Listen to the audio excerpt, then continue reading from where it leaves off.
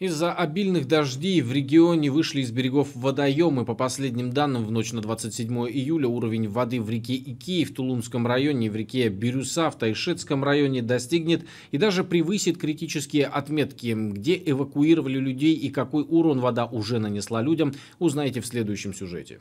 Потерянный урожай – лишь одно из последствий подтопления в садоводстве Ясная Поляна под Ангарском. На этой территории из года в год река Китой выходит из берегов. Вот и на этой неделе вода вновь поднялась. Здесь насыпь была большая, что ну, вода не должна была заходить. Все размыло, больше ничего нету. Никаких мы сами берегоукреплений, ничего мы не делали. То есть нам обещали сделать в этом году, но ничего не происходит. То есть приехали, просто убрали плиты, которые вот лежали на реке, и больше ничего, все, берег стал пустой. Укрепить береговую линию должны были еще в прошлом году. По решению суда Енисейское бассейновое водное управление должно было подготовить проект и провести берегоукрепление к лету 2023 года. Но ВОЗ и ныне там. Чиновники изначально сделали проект, который не, э, просто невыполним.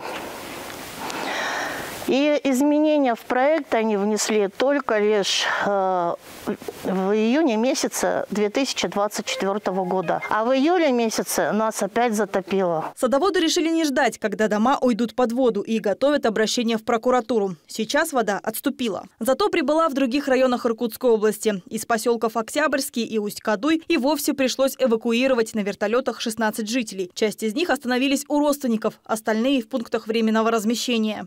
Давайте, давайте я проскочу и вам помогу. Нет, я сама.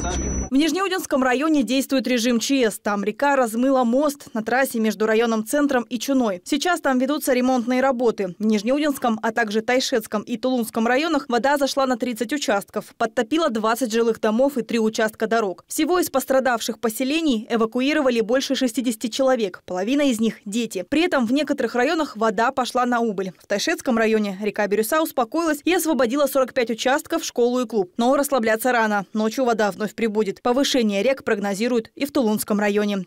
Юлия Шинкарюк, Дарья Эйвазова. Новости по будням.